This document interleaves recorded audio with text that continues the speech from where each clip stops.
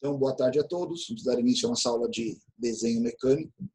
Hoje, dia 11 de maio, quinta-feira, né? Desculpa, 11 de junho, né? Quinta-feira. Turma do horário EF Tarde, disciplinas vinculadas ao curso de Engenharia Mecânica, Produção e Controle de Automação, na Universidade de Fortaleza, Uniforme. É, aula passada, a gente fez a nossa atividade avaliativa referente Caiu não, acho que deve ser só a conexão da Larissa. Caiu. Vocês estão me escutando, né? Sim, professor.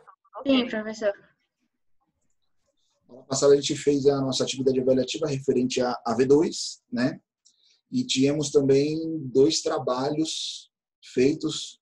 Um foi a montagem, né, vice do acoplamento, né, que a gente tinha feito como primeira atividade da V2. E fizemos a depois posteriormente foi entregue também no dia, a data final de entrega foi também no dia da avaliação, que era a caixa variadora de velocidade. Então, se vocês entrarem lá na ferramenta que trabalho, né, vocês têm lá já a devolutiva para vocês, né, com as considerações, tudo explicado lá para as pessoas que entregaram, ok? Uh, eu mandei um torpedo para dois alunos aqui, a Letícia e a Aline Monteiro, é, teve um equívoco na entrega, então eu devolvi para vocês só para vocês me mandarem da forma correta. Então, para as pessoas que tiveram algum equívoco no envio, eu sempre tenho a possibilidade de devolver só para a pessoa corrigir. Mas não é erro de apresentação no projeto, foi erro no documento enviado. Tá? Então, deu um problema no, arquivo, está explicado lá para elas. Se vocês tiverem essa aula, puderem ver. ok? Então, aqui vocês conseguem ver as duas notas referentes aos trabalhos, né? Montagem do acoplamento tipo flange e a caixa variadora de velocidade. Cada trabalho desse contempla 25% da nossa nota, né, da AV2, igual a gente fez na V1. Então, a gente tem 25% aí na montagem da flange, né, do acoplamento, 25% aqui na caixa variadora de velocidade e 50% está associado aqui à nossa prova, né? Que foi feita na última aula está disponível para vocês. Então, quando a gente abria lá ela, clicando no linkzinho aqui, abria a nossa prova, eram 16 questões. Uh, acredito que vocês perceberam que um assunto nada diferente discutido do que foi discutido dentro de sala de aula, né? Foram algumas abordagens um pouco mais específicas. Então, no momento, eu gostaria de refazer a prova aqui com vocês, comentar alguns, algumas respostas, né? A maioria dos, dos alunos que responderam alguma coisa divergente lá, eu comentei né, a resposta. A gente vai fazendo aos pontos aqui. Qualquer dúvida, vocês chamam aqui no grupo ou no próprio videoconferência, ok? Então, nossa primeira questão né, falava sobre os elementos de fixação apresentados durante a nossa disciplina, como eles podiam ser, como eles eram classificados, né? até perante a norma mesmo, como eles são classificados. Tinha um fluxogramazinho lá e a gente mostrava, né? Então, a gente tinha o quê? Os elementos fixos e permanentes, não, eles não eram fixos, né? Fixos e desmontáveis, nem fixos nem desmontáveis, né? Uh, rolamento e deslizamento, isso é associado aos rolamentos mancais, né? Não aos elementos de fixação. Articulados e permanentes, também não é articulados. Móveis e permanentes, permanentes e móveis, né? Então, esse seria o item correto aí, né, de marcação dessa alternativa. Ficou até repetido aqui, ah, não. Móveis e fixos também estaria errado. Então, seriam móveis e permanentes. Ok?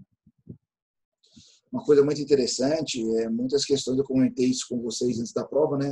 É, percepção na leitura né, da, do enunciado. E uma coisa que a gente tem que começar a trabalhar muito com nossos alunos é o linguajar técnico. Então, a gente começar a se expressar é, de forma técnica, né?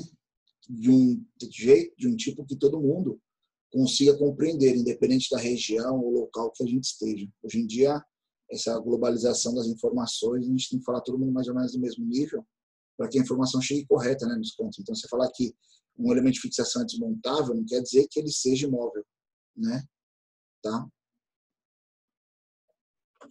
Uh, eixos são elementos mecânicos que trabalham sobre condições né, de estática, oscilante ou rotativo de seção usualmente circular, existem eixos sextavados, retangulares, né, de outras seções geométricas, que transmite movimento entre pontos distintos de sua seção. Ok.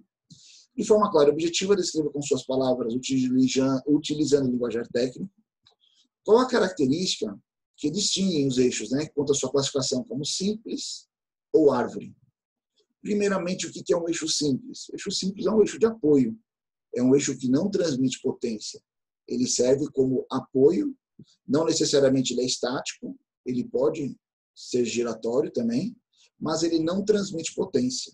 Né? Ele está sujeito, usualmente, à flexão. Quando você vai falar de eixo árvore, eixo árvore que significa o quê? Transmissão de potência. Ele transmite potência ao longo do seu corpo, né? Então, ou seja, ele está sujeito tanto à flexão quanto à torção, né? ou à flexotorção, que muita literatura chama também. Então, a diferença de simples e, e árvore é que o simples ele trabalha como apoio, não transmite potência, e o árvore transmite potência ao longo, né, ao longo da sua seção usual. Ok? Questão 3, nós trazíamos aqui uma vista explodida né, de uma montagem e fazíamos cinco apresentações de lista de componentes. Uh, aquele não foi problema para muita gente isso aqui. Então eram, se eu não me engano, oito itens. Dois a gente já apresentava, que era a carcaça e a flange, né? E aí vinha na sequência, a peça 1 vinha esse elementozinho aqui. Se você observar ele, a gente tinha a possibilidade do quê? De mancar de rolamento, mancar de deslizamento, um tubo, né? Se a pessoa tivesse em dúvida, ela poderia ir eliminando pelas outras possibilidades. O de rolamento ele não é. Tá? O correto seria o de deslizamento. Mas vamos lá. Não estou na dúvida se é um tubo.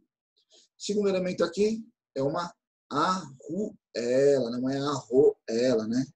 Então, onde eu vejo o tubo aqui, embaixo eu já vejo uma arruela aqui, né?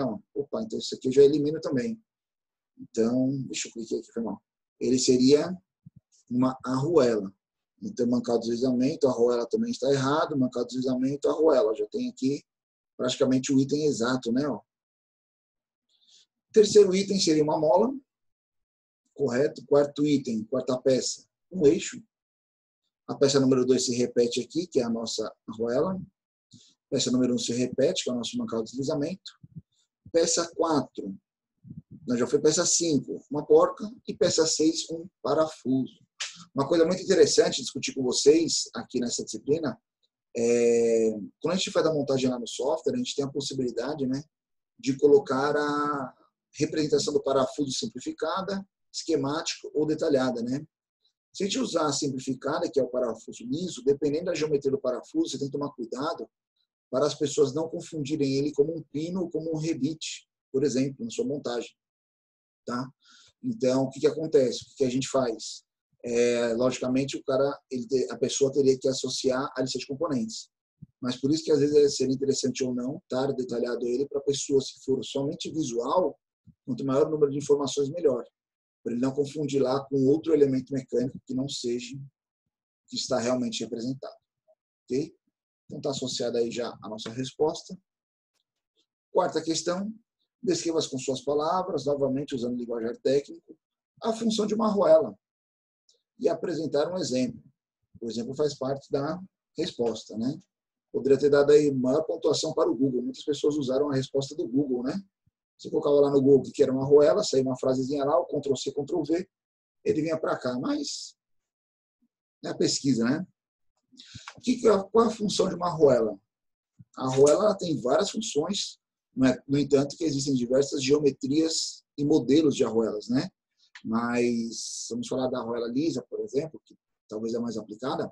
A arruela lisa ela tem a função de ajudar a distribuir energia de fixação dos elementos de fixação móvel, né? Arruela, parafuso, né? A porco, parafuso. Uma arruela de pressão, ela tem a finalidade de exercer uma força ali para elementos que possam sofrer algum afrouxamento, né? Durante uma variação de comprimento ou dilatação térmica durante o funcionamento. Então, ela mantém ali né, o aperto para evitar que ocorra afrouxamento. Mas, a, na literatura geral, a arruela tem a função de distribuir energia de fixação na região de contato, né, dos parafusos e portas. Muitas vezes também você pode ter uma região ali que ela não está plana, né? A cabeça do parafuso em relação à região de apoio não está plana. A arruela ela pode fazer a compensação desse desalinhamento. Como aplicação, qualquer elemento de fixação. Então, usar motores, conjuntos, citaram também até a caixa variadora de velocidade, que era a nossa atividade. Tá? Então, fariam várias formas de aplicação. Ok? Trazíamos aqui a quinta questão, apresentávamos seis eixos conforme normativa, né? existem esses eixos da norma. E aí aqui é interessante, eu vou fazer a descrição de cada eixo, depois eu falo aqui do item correto. Mas, primeiramente, esse eixo A aqui, ó, ele é um eixo maciço, né, o eixo A. O eixo B, ele é um eixo ranhurado, não é um eixo estriado, algumas pessoas marcaram isso. Qual é a diferença da ranhura para o eixo F, que é o eixo estriado? A ranhura é padronizada, são menos geometrias ao longo do eixo, né, em torno do eixo, e trabalham com um encaixe na peça. Né? Então, existe a região de encaixe das ranhuras. Quando você vem aqui para o eixo F, que é o eixo estriado, são vários entalhes que tem ao redor do eixo, e eles trabalham pelo princípio do atrito. Então, a peça que vai apoiar sobre o eixo vai ser encaixada ali com uma certa força, e essa geometria saliente, né, que seriam as ranhuras, vai fazer o travamento dele por meio do atrito. Ok? Então, o eixo B seria ranhurado, o eixo F estriado, ah, o eixo C aqui ó, é um eixo vazado. Tá? Eixo D é um eixo roscado, a rosca pode ser externa quanto interna, e o eixo E é um eixo cônico, né? Então, quando a gente olha aí nessas representações, correto seria aqui, ó, eixo C é um eixo vazado. Ok? Sexta questão. Em uma montagem para união permanente, você deve usar quais elementos de fixação? Permanente. Qual a classificação de uma montagem permanente? que para ser desmontado precisa ser cortado, ou seja, ele vai ser inutilizado, né? Haverá um dano. Porque a arroela e parafuso é uma montagem móvel, né? Você pode permitir a desmontagem. Fixos ou móveis, né? Uh, rebite e arruela. O rebite seria correto, mas arruelas não. Chavetas e molas, não tem nada a ver com fixação, né? União. Rebites e porcas, rebites correto, mas porcas não. Rebites e parafusos também não. Rebites sim, mas a porca não. O correto seria o quê? Solda e rebites. Ok? Sétima questão. Trazemos três afirmativas referentes às chavetas, né? Então, a primeira falava o quê? E perdia para a gente marcar a alternativa correta aqui, né? Então, vamos lá.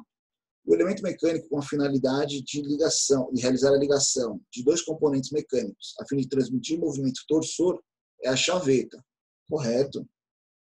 Quando corretamente dimensionada, a mesma deverá quebrar quando submetida a um trabalho que vai além das suas demandas, das demandas do equipamento. Também é correto. Por que isso? É aquilo exemplo que a gente deu, né, que é o nosso fusível mecânico. Então, a chaveta ali, você tem uma montagem, você tem um eixo, você tem um equipamento, um eixo, uma polia, uma engrenagem, seu motor também tem um eixo. Se ocorrer um travamento, uma sobrecarga, você quer que quebre o quê? A sua máquina, seu motor, sua polia, o eixo ou a chaveta? A chaveta, né, que é o elemento mais barato, mais fácil de ser trocado ali. Então, a chaveta ela limita a capacidade de transmissão de potência e ela trabalha como um elemento de segurança, né? Então, a alternativa 1 estaria correta. Ah, as chavetas falham por cisalhamento ou esmagamento, correto. Então, você tem ali o alojamento, a cavidade dentro do eixo, né, que ele tem umas arestas laterais, você tem a cavidade ou rasgo ali no cubo. Como eles estão em contato, vocês vão ver que são forças opostas, tem uma linha ali de corte, ou seja, ele corre talvez o cisalhamento. O amassamento, antes ele cisalhar, ele acaba amassando. Tá? Então, são os corretos tipos de falha das chavetas. Nas chavetas planas, o ajuste de encaixe deve ser justo nas quatro arestas, né? E assim permitindo a transmissão de movimento. Pessoal, não é correto. Por quê? Lembra até quando a gente fez a montagem da caixa paradora de velocidade? O fundo da chaveta, ela tocava o fundo da cavidade, mas a parte de cima tinha uma folga. Até quando a gente falou sobre chaveta, a gente mostrou a planilha lá, a tabelinha lá de seleção das chavetas. A gente via que sempre tinha três décimos, dois décimos de folga a chaveta ela faz contato com suas faces, arestas laterais, né? E ela não toca nem a superior nem a inferior, ou seja, apenas a alternativa 1 e 2 estão corretas. Exatamente. Professor, Oi. Na minha prova, é... Ah, não, desculpa, eu confundi. Tá, tá certo, eu pensava que o senhor tinha marcado errado na minha prova, mas tá ok. Tá ok? Tranquilo. Legal. Porque a dúvida depois a gente conversa, não tem problema não. Questão 8.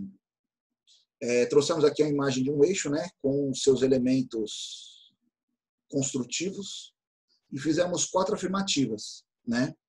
Só que nenhuma delas está correta. Eu vou explicar o porquê. A alternativa correta aqui era nenhuma das alternativas anteriores. Vamos lá. Chanfro, né? Ó, chanfrozinho está identificado aqui na, na parte frontal dele, é a posição correta dele. Chanfro corresponde a uma geometria cilíndrica inserida na ponta do eixo para proporcionar acabamento ao mesmo? Primeiramente, o que está errado aqui? Não é uma geometria cilíndrica. O eixo, o chanfro, desculpa, é uma geometria plana, né? Ele é um corte, ou seja, ele é um chanfro. Ele sim é inserido na ponta do eixo para proporcionar acabamento. Isso é correto, o chanfro. Ele também serve para ajudar na montagem, no alinhamento do eixo, mas ele não é uma geometria cilíndrica, tá? Então isso aqui estaria errado devido à geometria cilíndrica. O rasgo da chaveta é um orifício feito nos eixos para permitir a realização do balanceamento do mesmo, com a inserção de chavetas com densidades distintas. Não, né? Ah, primeiramente, o rasgo da chaveta é para alojar a chaveta. A chaveta tem a função de transmitir, fazer o travamento e transmitir o movimento torsor. Ah, existem alguns eixos, vocês já devem ter desmontado algum motor, algum eixo de máquina, onde você tem lá alguns chanfros, alguns cortes ao longo do eixo, mas aquilo ali são para eixos que trabalham com altas velocidades. Aqueles são geometrias de remoção de material para balanceamento do eixo, mas não que ele seja um rasgo como o rasgo da chaveta. Tá? O rasgo da chaveta tem a finalidade específica dele. O raio de arredondamento permite um acabamento nos eixos, de tal forma que a não ficar cantos vivos, correto, e assim evitar o acúmulo de sujeiras prejudicando o balanceamento dos eixos? Não, né? O raio de arredondamento aqui, ó, que é o nosso fillet, qual é a função dele? Toda vez que você faz um eixo, seja ele de apoio, né, ou um eixo árvore, ele está sujeito à flexão, correto? Se você tem ali uma variação de seção no seu eixo, né, como a gente tem aqui, um diâmetro menor, um diâmetro maior, o assento, que é um diâmetro menor, toda vez que você tiver essa transição de diâmetro, se você tiver um canto vivo, ao momento, às vezes que o eixo flamba, aquele canto vivo pode propagar alguma trinca. É uma região suscetível à propagação de quebras, de falhas, que a gente chama, né? Então, quando você faz o arredondamento, você alivia as tensões concentradas naquele ponto. Consequentemente, dificilmente ele vai começar a rachar ali, tá? Só se a flexão for muito grande, mas teoricamente, tecnicamente, muitas vezes testadas também, ela suaviza ali uh, a variação de seção, consequentemente, né, a concentração de tensão, ok? O assento, né, que é a região aqui que mostra, uh, o assento, a região de contato dos eixos e os elementos de transmissão de potência, então, o assento a região de contato dos eixos onde os elementos de transmissão de potência entram em contato para transmitir potência por meio do atrito. Não é correto, tá? Ah, quem faz o travamento ou é a geometria, ou é algum elemento de fixação, ou é a chaveta. O assento nada mais é do que a região de encaixe do elemento de transmissão de potência. Polia, correia, engrenagem, roda dentada. Né? Correia não, desculpa, polia, engrenagem, roda, correia, coroa dentada, roda dentada. Mas ele tem um ajuste, eles se encaixam, mas não é por meio do atrito. Tá? Então, nenhuma das alternativas estariam corretas. Ok? Nona questão, os acoplamentos podem ser classificados como? São dois grupos, né? Móveis e permanentes. Eles não são fixos e permanentes, não. Não são fixos e móveis, não. Não são móveis nem oscilantes. Não são oscilantes nem permanentes. Eles são móveis ou permanentes, permanentes ou móveis. É justamente aquele fluxogramazinho, a segunda linha de hierarquia lá do fluxograma, né? Acoplamentos, aí vem duas subdivisões móveis e permanentes a gente tem lá, né? Ok? Vou fechar isso aqui que a gente não está usando. Décima questão, essa questão é muito interessante. Uh, você é engenheiro contratado para especificar o tipo de acoplamento mais adequado, né? Conforme os parâmetros de funcionamento do seu sistema. Após assinalar as, o item escolhido, né, justifique o porquê da sua escolha. Isso é uma coisa que a gente vai fazer muito na vida, viu, pessoal, como engenheiro? Né? Por quê? Uh, pergunta que mais acontece aí. Mas por que isso? Por que aquilo? Por que esse tamanho? Por que essa geometria? Por que essa dimensão? Por que desse acoplamento, né? Então, você tinha que justificar lá e ela fazia parte da correção. Então, qual é o nosso sistema? Moinho de martelo, acionamento direto, tá? O que, que caracteriza o acionamento direto? Quando a gente fala acionamento direto, ele não é um acionamento móvel. O que é um acionamento móvel? Móvel é aquele que é comandável ou não comandável, aquele que acopla ou desacopla, embreagens, né? Uh, que mais nós temos? Embreagem cônica, plana, ou seja, qualquer um que desacopla ou acopla não é um acionamento direto, tá? com regime de trabalho intermitente. O que é um regime de trabalho intermitente? Tem horas com carregamento, horas sem carregamento. Por quê? O moinho ele moe algum material. Então, tem um momento lá que ele está ligado, é inserido lá o material para ser moído, ele recebe aquele impacto do material grosseiro. Ele começa a moer, a partir do momento que ele moe, passa esse material moído, ele alivia as tensões, ou seja, o carregamento diminui. Aí chega um outro material para ser moído, aí impacto novamente, né? Aí ele moe e alivia, ou seja, é intermitente o trabalho dele, né? os horários de pico, os momentos de pico. Uh, regime de trabalho intermitente, com intervalos de carga entre uma moagem e outra, né? Choques constantes, toda vez que você faz um carregamento é um choque, um choque não é um choque elétrico, é um impacto, né? Vibração excessiva, tá? Porque vibração excessiva, você está morrendo, né? Ou seja, por pancada, por força, você está quebrando outro elemento. O correto seria o acoplamento permanente, flexível, tipo Perflex. Por que não? Muitos marcaram acoplamento permanente por fita de aço. Fita de aço, ele é recomendado, ele aceita desalinhamentos radiais, axiais, angulares, só que ele não trabalha a parte de amortecimento de vibração. Ele pode até absorver um pouco de vibração, mas não é o principal função dele.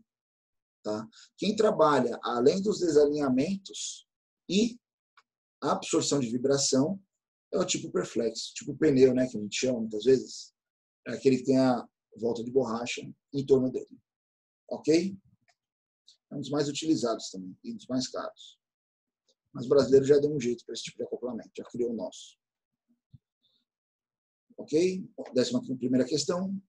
A união de peças e componentes podem ser feita por meio de elementos de máquina classificados como elementos de união.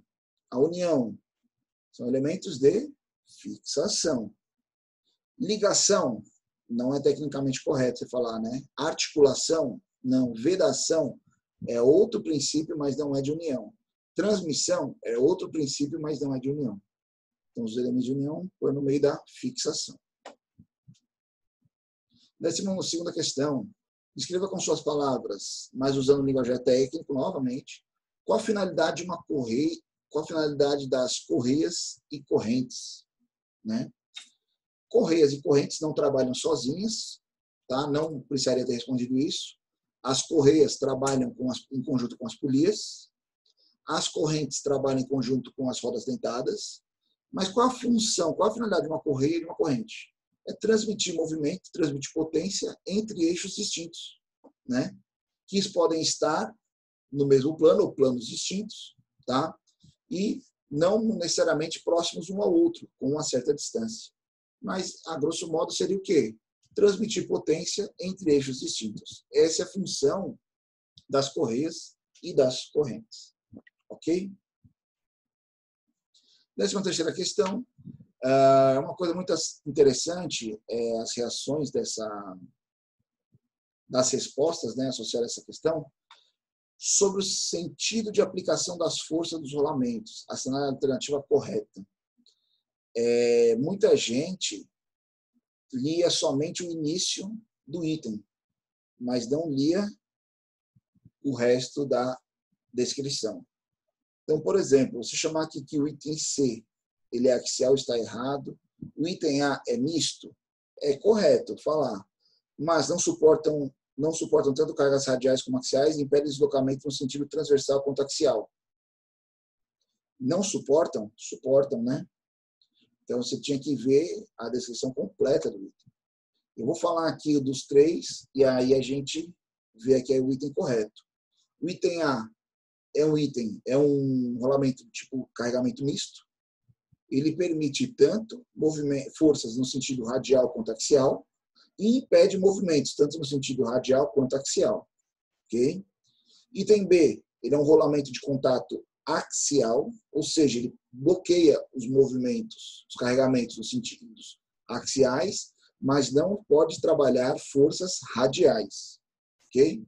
O item C é um rolamento radial, ou seja, ele faz o tanto travamento quanto o suporte de carga no sentido axial, ou seja, perpendicular ao eixo, mas não suporta carregamentos no sentido axial, no sentido do eixo. Dentre as descrições, item C radial. Esse aqui, tem C radial aqui, ó. Não suportam cargas axiais e impedem deslocamento no sentido transversal ao eixo. Então, esse aqui seria o item correto aí a ser assinalado. Eu tenho minha pesca aqui do lado, mas é esse mesmo. Né? Ok? Décima quarta questão, muito interessante. Até a Emanuele perguntou para a gente lá no dia da prova, né, se era esse aqui da interrogação. Uma coisa interessante, quando a gente monta a questão, a gente pensa nas associações e pensa também nos problemas que podem dar.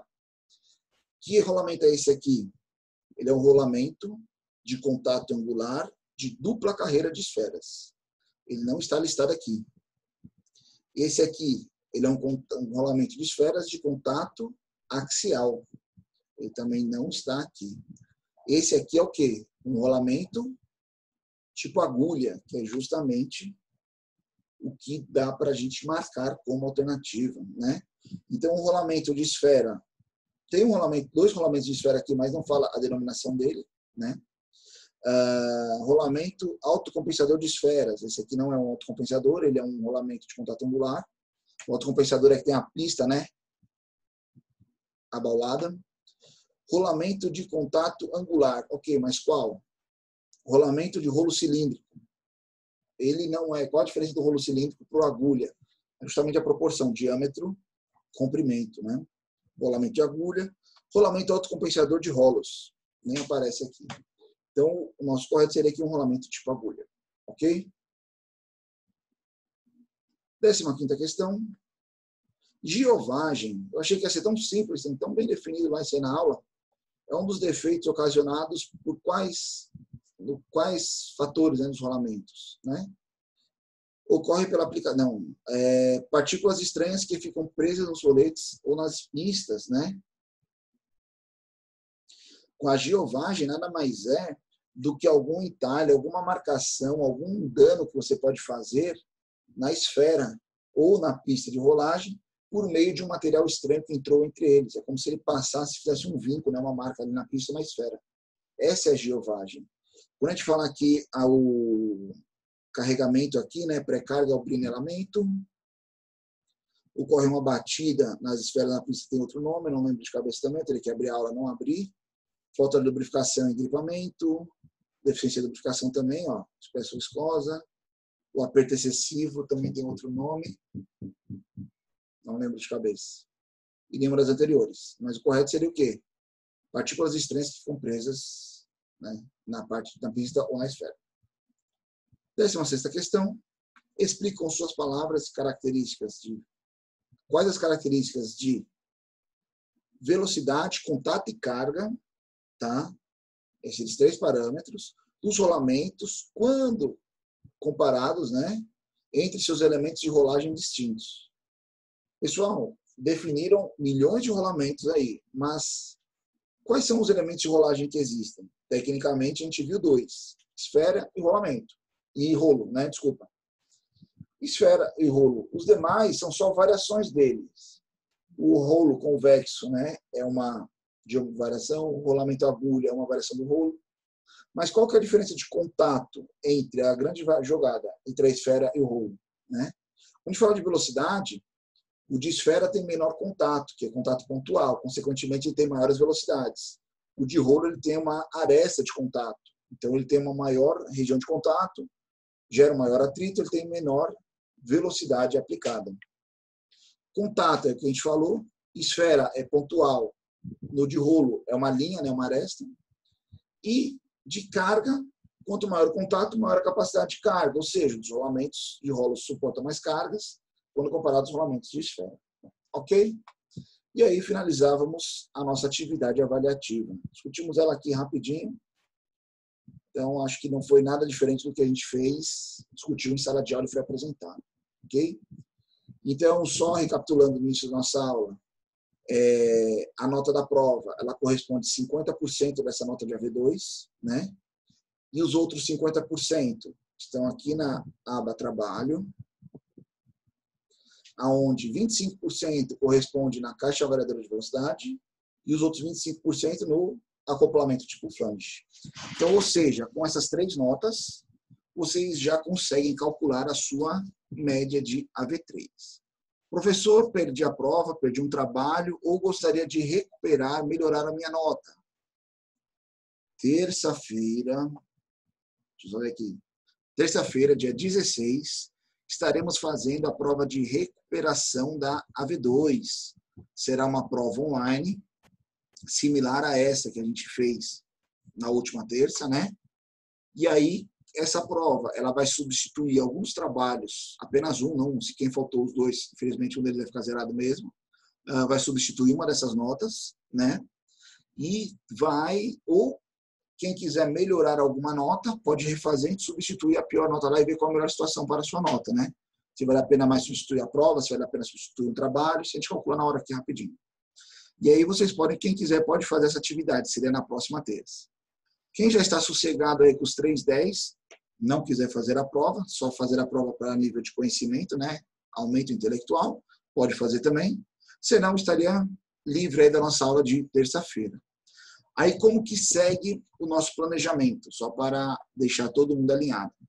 Então, dia 16 a gente faz a prova de recuperação. Dia 18, daqui uma semana, a gente corrige ela, como a gente fez agora, e fecha total a média da V2, né?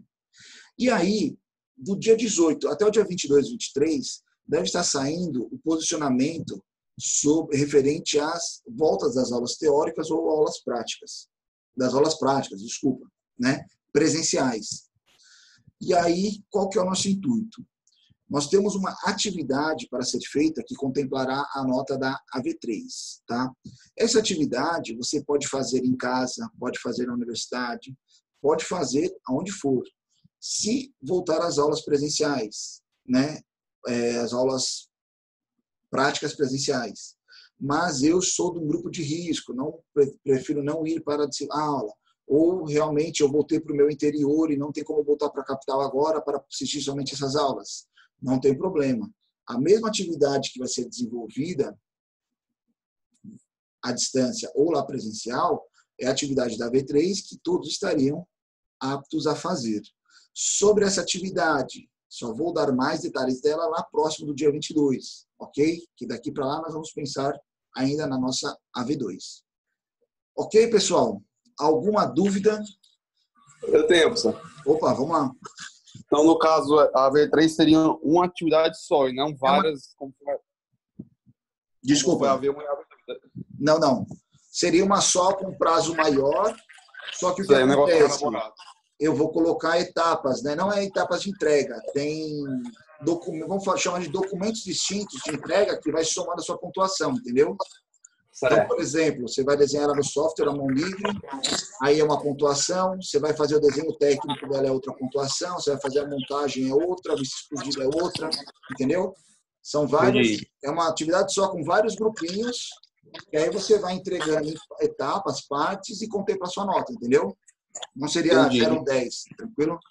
Entendi. Aí também teria, como teve nas, nas outras AV, teria aula o senhor fazendo, a gente acompanhando, é isso? Algumas delas, porque assim, é, essa V2 ela vai ser meio que individualizada. A v, desculpa, a V3. Ela vai ser meio individualizada. Mas fiquem tranquilos, quando chegar lá vocês vão ver, vai ser bem bacana. Mas não é nada diferente do que a gente não fez até agora. O que, que é diferente? Eu costumo falar que é igual, mas é diferente, né? É que não é os mesmos desenhos, mas os princípios são os mesmos. Então, eu vou desenhar uma peça diferente, vou colocar nas mesmas vistas, as mesmas ideologias de cota, as mesmas ideologias lá de vista explodida, de lista de componentes, né? de simulação de movimento. São as mesmas ideologias, só muda o físico, né? o elemento, entendeu? Professor, por favor, você pode repetir o peso das atividades que a gente fez, só para eu anotar aqui? Vamos lá. É igual na V1. A prova vale 50%, metade da nota. 25% a montagem do acoplamento tipo flange e 25% a caixa variadora de velocidade. Porque a nossa prova é dois, a nossa aula é dois, dois, né? Dois créditos teóricos e dois práticos. Então 50% é prático, 50% é teórico. 50%, 50 prático a gente dividiu em duas atividades. O acoplamento e a caixa variadora de velocidade. E os outros 50% é teórico, foi a prova. Aí a gente vai ter a prova de recuperação para quem quiser melhorar. Ok? Eu tenho, ok, só mais uma dúvida. Opa. Essa prova que, a, que o senhor corrigiu agora, a nota que sai no portal é de 0 a 10, não é isso? Sim. Mas nesse peso aqui que o senhor falou.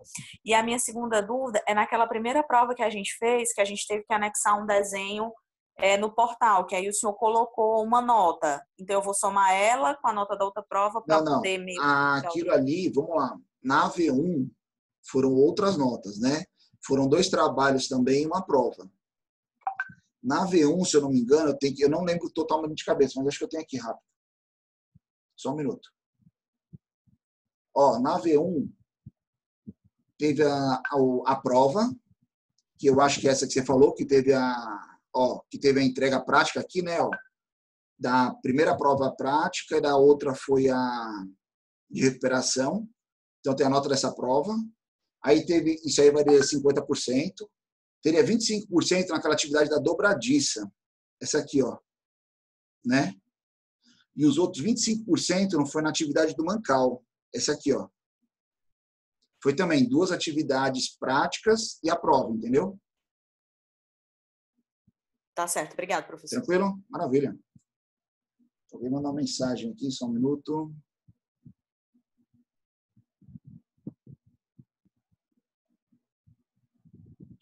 Então, vamos lá. Você fez um trabalho, a nota dele vale 25% da nota. O segundo trabalho vale 25% da nota. E a terceira, a prova vale 50%. Se você deixou de entregar um trabalho, você tem, não tem, seria 25% de zero a zero, né?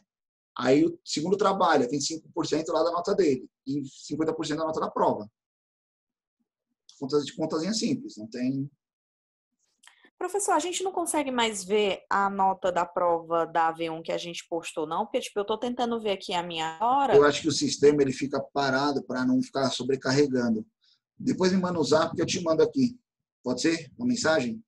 Beleza, obrigada. Mais fácil. Nada, tranquilo. Aqui o sistema Uniforme Online está sobrecarregado, eles estão tirando algumas coisas aí. Eu teria que tentar ativar de novo. O senhor não vai postar as médias, não? Ou só, o senhor vai só postar a média final? É só a média final. A nossa disciplina, ela ficou como nota única.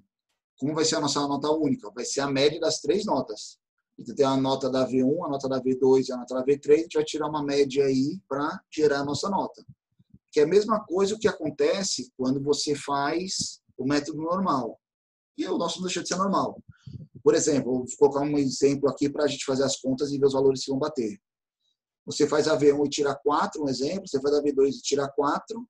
Você precisa tirar 6 na final, né? Você tira 6 na final, você somando tudo, sua média fica 5. Que é justamente a média que a Unifor exige para a aprovação completa do aluno. A gente vai fazer a mesma coisa. A única diferença nossa é que não precisa ter uma média de AV2, AV1 e AV2 para ir para a AV3. A gente vai somar a média das três notas e tirar a média da disciplina.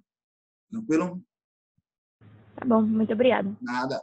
Pessoal, era mais interessante para a gente pular para pular para nota única, porque quando se a gente tivesse continuado no AV1, AV2, AV3, AV1 e AV2, nosso prazo era mais curto, as atividades tinham que ser muito mais apertadas e muito mais rápidas, entendeu?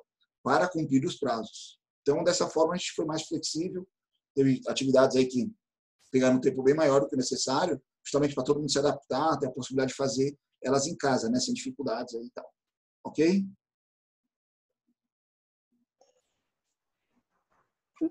Professor. Oi, Gabriel. É, em relação em relação à prova, na questão 10, por que que não Hum, Por que, que a resposta certa é, é o tipo é o tipo Perflex? Só um minutinho, deixa eu só abrir ela aqui de novo. Vamos lá. Provas. Ah, do acoplamento, né? Para você escolher o acoplamento. Vamos lá. É.